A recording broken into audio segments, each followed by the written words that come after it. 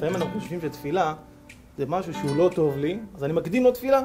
אבל משהו שאני כבר, ברוך השם, הולך לעבודה בבוקר, וכבר עושה אותו, אז מה יש להתפלל עליו? הכל בסדר. איפה באמת הקו המחלק, האם להקדים לזה תפילה, האם להמשיך להתפלל עליו או לא להתפלל עליו? רב גדול מוכר מאוד, שהוא היה בגיל הצעיר שבו היה מאוד בלאגניסט, עם החבר'ה בשכונה בו שנקרא קצת... אה, בלאגניסט. בלאגניסט, במילה אחת. ואימא שלו לא ויתרה לו. כל לילה שהוא היה חוזר, מאיפה שהוא חוזר, באיזה שעה שהוא חוזר, צדקת של פעם, האנשים של פעם, הסבתות של פעם, שמדליקים נר לרבי מאיר בעל נס, לרבי שמעון בר יוחאי, לכל הצדיקים שבדורנו מקימים את כולם לתחייה, היא הייתה באה כל ערב עם מגש כזה עם נרות, הולכת ליד המיטה שלו, שתיים, שלוש, ארבע לפנות בוקר, מתחילה לעשות וואי, וואי. הילולה. הוא הדליק מזגן על אמא, פול. תגידי, את רצינית? מה את עושה? כל לילה זה חזר על עצמו. וואי. כל לילה האמא מגיעה, בזמן שהוא ער או יושן? איך שהוא נכנס, שוכב במיטה, כבר ב- כנראה בנר ה-20 הוא כבר היה רדום, אבל לא משנה, היא עושה את הדבר הזה, וחודר בפנים של הילד. ריבונו של עולם, בבקשה שהילד הזה יגדל לתורה, שיהיה צדיק, אמא איזה צדיק, איזה תורה, עזבי אותי, איזה רב גדול, תגידי, את מה מדברת בכלל? מי, מי, מי מדבר על זה בכלל? אבל היא לא ויתרה. האמא לא ויתרה והיא ידעה שתפילה לא חוזרת לכאן. לילה אחרי לילה, ובאמת זה הצליח. התפילה שלה התקבלה והיום הוא מגדולי מזכי הרבים בדורנו. ומה מה המיוחד פה? אח שלו הצ... הגדול יותר, היה עילוי של הישיבה.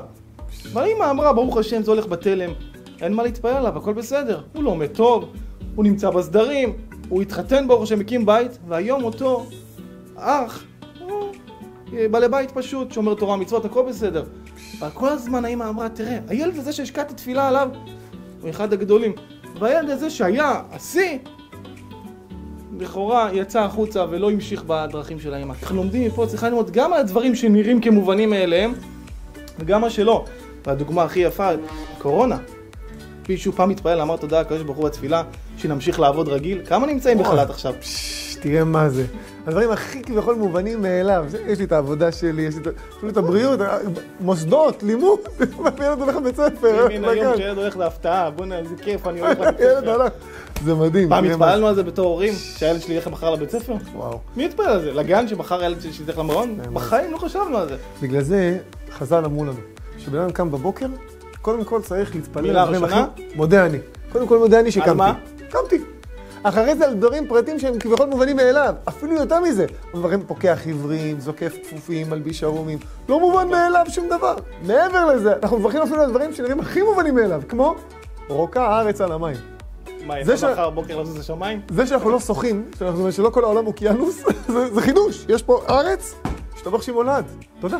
צריך להתפלל גם על זה. זאת אומרת, על כל פרט ופרט, אם אנחנו מקדימים תפילה, תהיה ברכה בו. אחים יקרים, אל תפסיקו להתפלל על מה שנראה ברור, על מה שלא ברור, על הכל.